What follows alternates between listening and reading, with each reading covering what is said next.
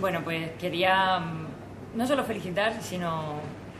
decir que el partido abierto, el partido verde del PSC de Barcelona, me parece un ejemplo de lo que hay que hacer en este momento en política, de aplicación del gobierno abierto a los partidos, en este caso al Partido Socialista de, Cataluña, y por eso me gustaría que hubiera mucha implicación ciudadana, que se practicara la transparencia, la participación y la colaboración, que son los principios del, del Partido OVER, y decir eso, que lo vamos a utilizar de ejemplo en muchos otros sitios de, toda España y que espero que esto sea solo un punto de partida de todos los cambios que tiene que hacer eh,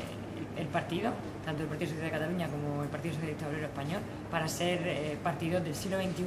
y para volver a recuperar la confianza de los ciudadanos en la política.